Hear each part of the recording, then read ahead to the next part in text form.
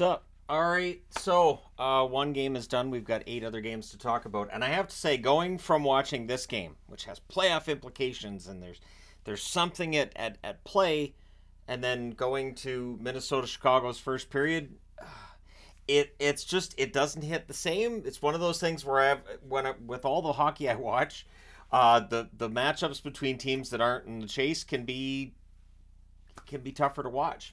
But this one was not. And Buffalo and Detroit came to play today. It was Luukkonen versus Lyon, which is an odd thing to say. Like they're going to show up not to play. Um, didn't bring my skates today, coach. Don't feel like playing. All right. So early jump for the Sabres. However, on a turnover rush, Lucas Raymond scores at 53 seconds. It's a wrister from the slot, and it gets the crowd really into it. Uh, the Sabres look to respond, but Sprong has a rush chance that's held. And then at 424, uh, Kane buries one short side on a net drive. Jeff Petry with the assist, and that was the fifth shot for the Wings. The Sabres had one. The Sabres were having trouble with turnovers and puck control early in that period. Otherwise, we might be having a whole different conversation right now. Uh, so the Wings press a bit as the Sabres keep turning it over. Thompson with a near miss as the Sabres get some pressure. Peterka has a shot that deflects wide. Krebs is denied. The Wings get pinned down for a while, but they end up going to the power play and they score on it. Uh, it is Larkin uh, scoring on the power play from Raymond and Perron at 7:37. It was a good cycle by Detroit. It's buried, and it looks like this one's home and cooled. This is done, right? It's three nothing already. They got three goals on six shots. So that's it. Buffalo, pack your bags. But Buffalo doesn't pack their bags. Uh, there's more strong forechecking by Detroit the next turn. Uh, the fans call when the referee doesn't. Uh, then we have Bowen Byram versus Joe Veleno right after. So uh, Byram had thrown a hit on Veleno that the crowd didn't like. Veleno hit his head on the boards on the way down. And Veleno got up clearly not liking it either. And so the, the players police this and the fight takes place. Uh, the Wings press at the half. UPL holding on there. There's a delay game call. Gives the Sabres the power play. There's an early clear. Uh, the Sabres set up. They cycle. Peterka has a shot that's held. The Wings clear late. They do kill it off. But even though the Sabres are starting to turn it over a bit again, they end up drawing a power play and they score on this one. It's Tage Thompson with a one one timer, five hole from the left circle. Benson and Tuch with the assists at 13-16. It's three to one, and it looks like this might end up being a really high scoring game. Uh, Sabres press with five minutes left. We had a fight between Cozens and Petry.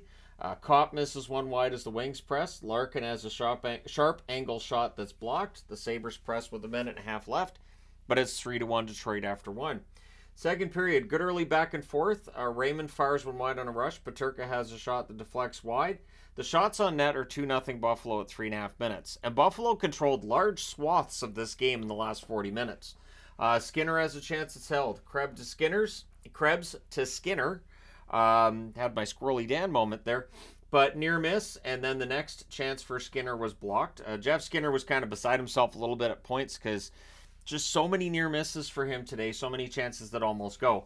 Wings press at four and a half minutes, but they're kept to the outside. Peterka has a net feed that's blocked. Sabres press, more blocking by the Wings, and we'll get into the blocking at the end of this. Uh, Dahlin is denied. The Wings clear. Sabres aren't giving the Wings a path to the net in the second period. Shots are six to one for Buffalo. Nine and a half minutes into the second.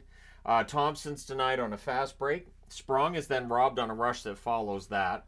Czarnik fires one wide on a three-on-two rush. So this is the part part of the second period where there's a lot going on. Uh, Chiarot has a shot that's held as the wings press. DeBrincat has a slot shot that's blocked. Uh, the wings press afterwards. Skinner has a one-timer that's held. Bryson took a stick from Jost right up near the eye.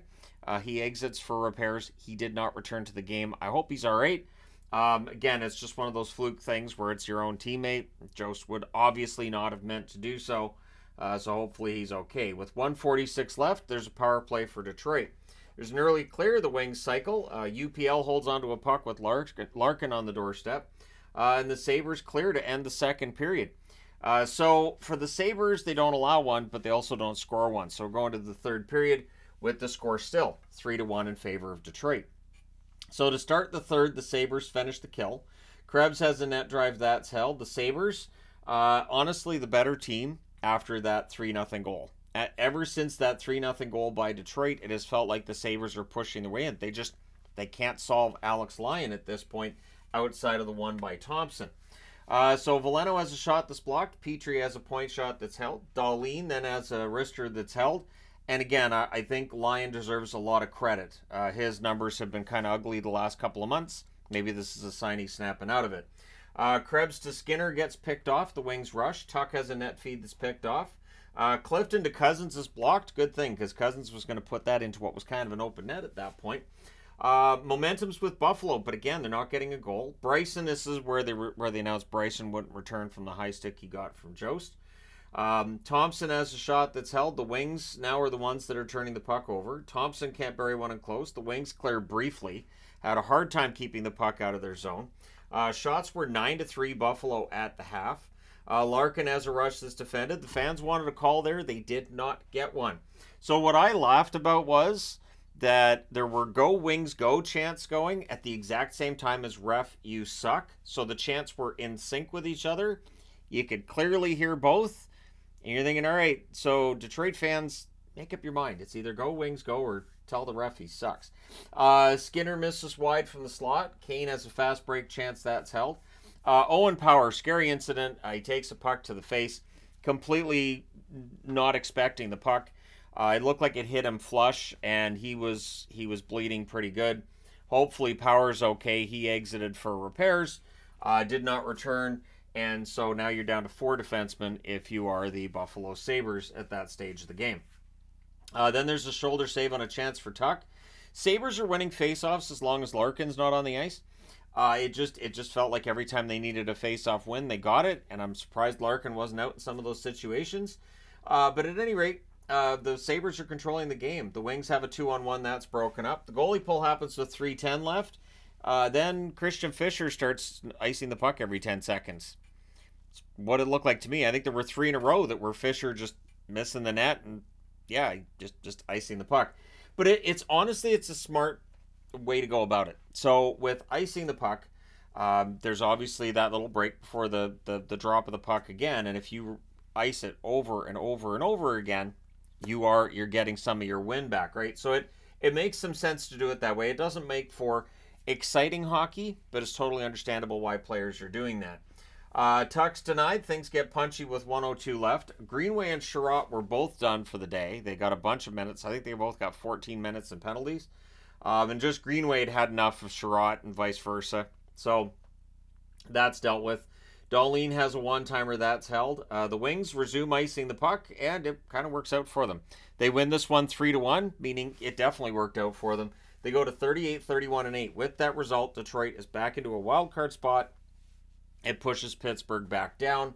Uh, the Sabres 37, 36, and 5 with the loss can we admit Buffalo's not going to make the playoffs? Can we admit that today and just just be done with that? Push that off to the side. The shots on net are 10 apiece in the first, 11-7 Buffalo in the second, 18 7 Buffalo in the third.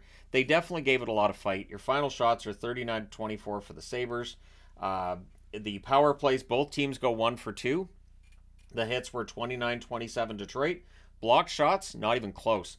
27 to 9 for Detroit. So lots of shot blocking by the Wings today. Uh, Luukkonen, 21 saves on 24 shots. Lyon's saved 38 out of 39. Best stat line I think Lyon's put up since maybe before the All Star game. At any rate, let me know your thoughts in the comment section below. As always, don't forget to hit like and subscribe if you haven't done so already. Thank you guys so much for all your support. I will talk to you again soon.